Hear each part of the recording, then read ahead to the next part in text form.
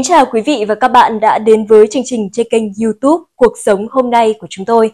Những thông tin hữu ích sẽ được chúng tôi cập nhật để gửi tới quý vị ngay sau đây. Tổng thống Putin và những phát ngôn chất có thể định đoạt số phận của phương Tây.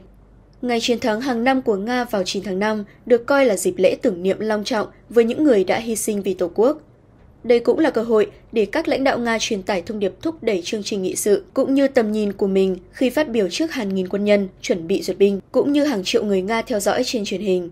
Tổng thống Nga Vladimir Putin được tận dụng cơ hội này. Năm nay, giữa quảng trường đỏ ở thủ đô Moscow, ông đã thừa nhận đất nước đang trải qua giai đoạn chuyển tiếp khó khăn khi cáo buộc phương Tây kích động xung đột toàn cầu, nhưng đồng thời khẳng định Nga sẵn sàng đối mặt bất kỳ mối đe dọa nào.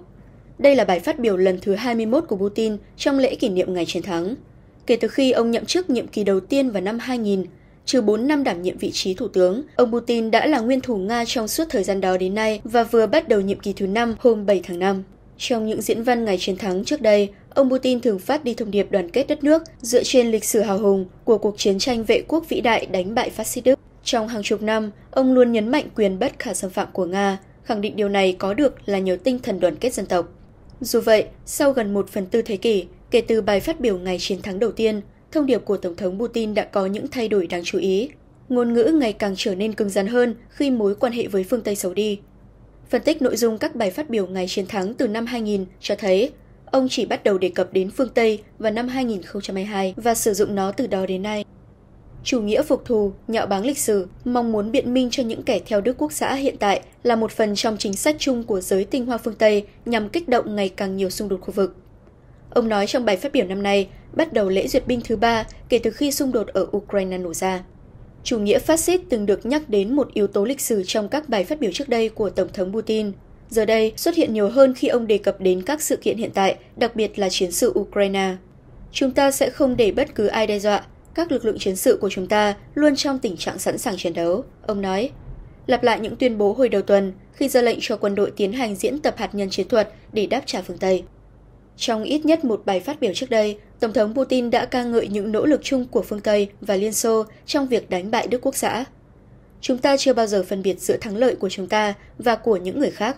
Ông phát biểu tại Quảng trường Đỏ vào năm 2005 khi Tổng thống George Bush và phu nhân Laura ngồi sau lãnh đạo Điện Kremlin trong lễ kỷ niệm 60 năm ngày chiến thắng. Chúng ta sẽ luôn ghi nhớ sự giúp đỡ của các đồng minh, Mỹ, Anh và Pháp, các quốc gia khác trong liên minh chống Hitler, những người chống phát xít Đức và Italia. Trong những năm tiếp theo, các quan chức nước ngoài được mời tham dự cuộc duyệt binh còn có cựu Tổng thống Mỹ Barack Obama và một số lãnh đạo châu Âu, nhưng gần như tất cả các lãnh đạo phương Tây đã tẩy chay cuộc duyệt binh ngày chiến thắng của Nga kể từ năm 2015, một năm sau khi nước này sát nhập bán đảo Crimea vào lãnh thổ. Hôm 9 tháng 5, Tổng thống Putin đã cáo buộc phương Tây bóp méo sự thật về vai trò của Liên Xô trong Thế chiến thứ hai. Ba năm dài và khó khăn đầu tiên của chiến tranh vệ quốc vĩ đại, Liên Xô và tất cả các nước Cộng hòa thuộc Liên Xô đã chiến đấu gần như một trọi một với Đức Quốc xã, ông tuyên bố. Tổng thống Putin cũng tỏ ra ít chú ý hơn đến thông điệp hòa bình trong các bài phát biểu ngày chiến thắng và không đề cập đến nó liên tiếp hai năm qua. Trong bài phát biểu đầu tiên, ông đã sử dụng từ hòa bình 5 lần, Năm 2017, Putin nói về việc Nga sẵn sàng hợp tác với cộng đồng thế giới để đấu tranh chống khủng bố, chủ nghĩa cực đoan, chủ nghĩa phát xít mới và các mối đe dọa khác, cũng như mang lại hòa bình trên hành tinh có thế hệ tương lai. Năm 2020, ông nhấn mạnh tầm quan trọng của việc có thể bảo vệ các giá trị hòa bình, chủ nghĩa nhân văn và công lý. Sau khi chiến sự bùng nổ, ông chủ điện Kremlin đã tuyên bố các lãnh đạo Ukraine là những người theo chủ nghĩa dân tộc và chủ nghĩa phát xít mới, Ông cho rằng đây là thế lực mà Moscow phải ngăn chặn để chặn đứng một cuộc diệt chủng chống lại người Nga và các công dân nói tiếng Nga tại Ukraine. Kiev bác bỏ cáo buộc này. Ở Nga, không có từ ngữ nào xúc phạm hơn Đức Quốc xã hay phát xít, vì cả hai đều gợi lên những tổn thất to lớn mà Liên Xô phải gánh chịu trong Thế chiến thứ hai.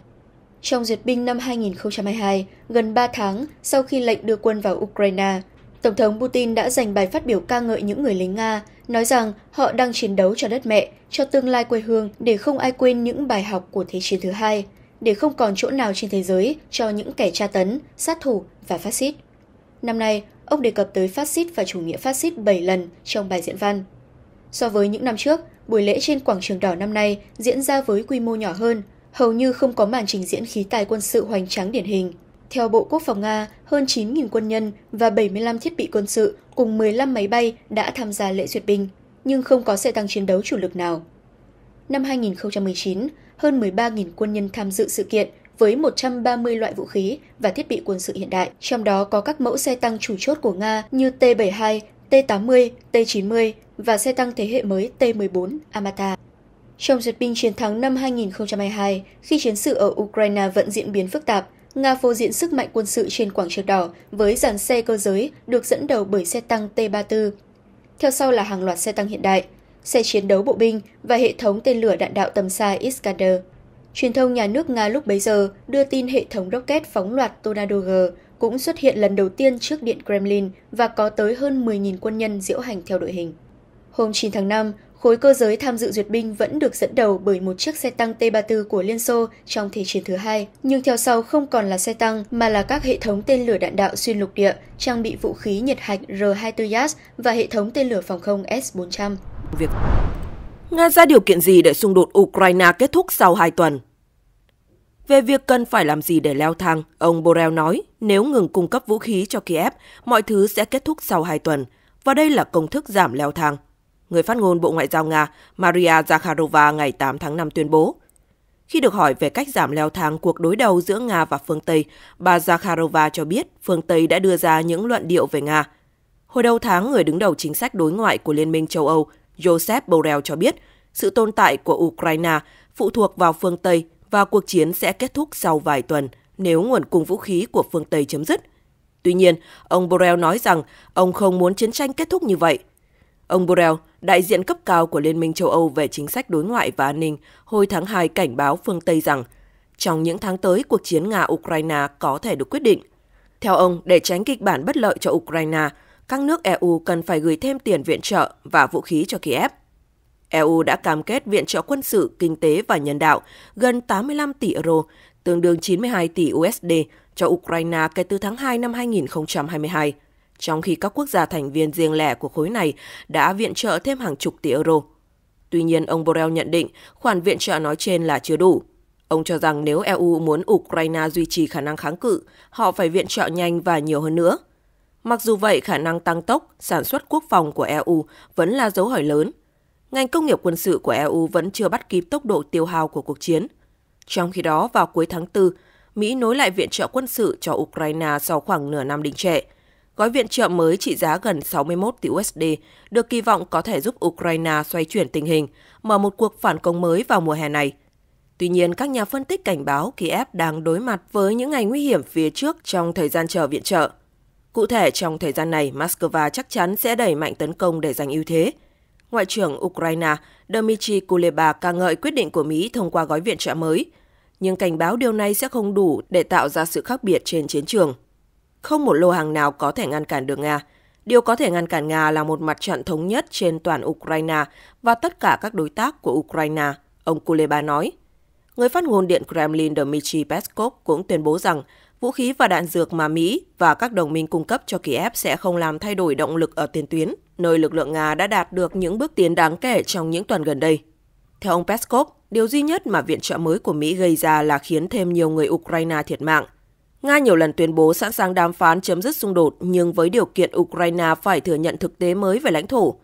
Thực tế mà Moscow đề cập đến là việc các vùng lãnh thổ gồm Zaporizhia, Kherson, Lugansk, Donetsk sắp nhập vào Nga năm 2022 và bán đảo Crimea sắp nhập năm 2014 sau các cuộc trưng cầu dân Ý gây tranh cãi. Nga bác bỏ cáo buộc liên quan đến vụ tấn công đốt phá của Anh trong tuyên bố, nữ phát ngôn viên Zakharova cho biết Nga tố Anh bịa đặt về cáo buộc hoạt động thù địch. Đây là một phần của cuộc chiến thông tin chống lại Moscow. Nga coi những cáo buộc như vậy là khiêu khích và Moscow không bao giờ thực hiện các cuộc tấn công phá hoại nhằm vào các mục tiêu dân sự, bà nhấn mạnh. Bà Zakharova đang đề cập đến một vụ việc, trong đó Anh hồi tháng trước đã buộc tội một người đàn ông hoạt động thù địch chống nhà nước nhằm mang lại lợi ích cho Nga, bao gồm cả việc đứng sau vụ tấn công đốt phá một cơ sở thương mại có liên quan đến Ukraine ở London. Ngoại trưởng Anh David Cameron đã bày tỏ quan ngại sâu sắc về các cáo buộc này và Bộ Ngoại giao của ông hồi tháng trước đã triệu tập đại sứ Nga tại London để bày tỏ quan ngại về hoạt động ác ý do Nga giàn dựng trên đất Anh. Tuy nhiên, phát biểu với các phóng viên trong cuộc họp hàng tuần, bà Zakharova nói, chúng tôi coi những cáo buộc này là hành động khiêu khích và đánh dấu loạt đạn mới nhất trong cuộc chiến thông tin mà phố Đào Ninh đã phát động chống lại đất nước chúng tôi. Theo bà, những nỗ lực này của anh thật thảm hại vì những cáo buộc được đưa ra không chỉ vô lý mà còn không có bất kỳ sự thật nào. Nữ phát ngôn viên Bộ Ngoại giao Nga đồng thời kêu gọi anh dừng sự cuồng loạn chống Nga. Mối quan hệ giữa Nga và Anh đã ở trong tình trạng xấu đi nghiêm trọng ngay cả trước khi bùng nổ xung đột Ukraine và ngày càng leo thang căng thẳng khi London đóng vai trò nổi bật trong việc viện trợ quân sự cho Ukraine và áp đặt các lệnh trừng phạt chống lại Moscow. Ukraine thất thế ở phong tuyến phía đông, NATO phủ nhận kế hoạch triển khai quân. Pravda ngày 8 tháng 5 dẫn lời ông Naza Volosin, người phát ngôn nhóm tác chiến chiến lược Kortisia của Ukraine, cho biết lực lượng Nga đã chọc thủng phong tuyến của Ukraine ở thành phố Krasnohorivka, tỉnh Donetsk, miền đông nước này. Đối phương đã chọc thủng phòng tuyến, các nhóm tấn công nhỏ của họ đã tiến vào bên trong thành phố và hiện ở bên trong một nhà máy, ông nói. Tuy nhiên, ông Volosin cho hay các đơn vị của Ukraine đã ngăn chặn và bao vây nhóm tấn công của Nga. Hiện tại nhóm này bị cắt nguồn tiếp tế đạn dược. Lực lượng của chúng tôi tiếp tục giữ Krasnohorivka và vùng ngoại ô trong tầm kiểm soát hỏa lực, ông cho biết thêm. Theo ông Volosin, quân đội Nga đang tiến hành các đợt tấn công gần làng Netalove và tìm cách tiến công ở Pervomaiske. Nga ngày 8 tháng 5 tuyên bố đã tiến vào miền đông Ukraine, giành quyền kiểm soát làng Kislivka ở vùng Kharkov của Ukraine và làng Novokalinove ở vùng Donetsk. Đây là những làng mới nhất mà Nga tuyên bố kiểm soát trong những ngày qua.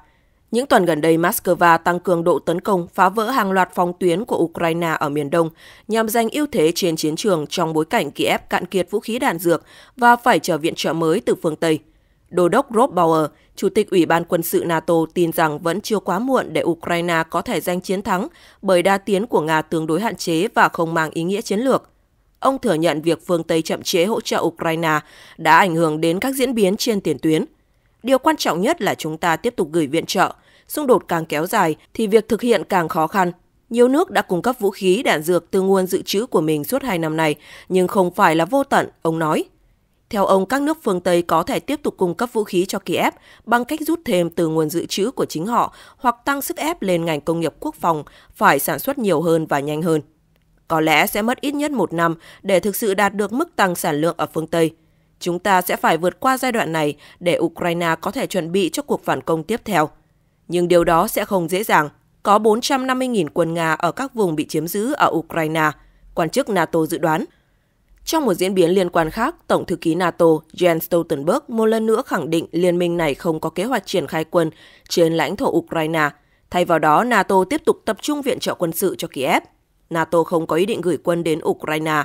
Khi tôi đến thăm Ukraine vào tuần trước, phía Ukraine đã không yêu cầu quân đội NATO, họ yêu cầu thêm viện trợ quân sự, ông Stoltenberg cho biết. Cảm ơn quý vị và các bạn đã theo dõi chương trình của chúng tôi. Nếu quý vị thấy thông tin bổ ích và thú vị, xin hãy đăng ký và nhấn chuông thông báo để cập nhật thông tin trong những chương trình tiếp theo.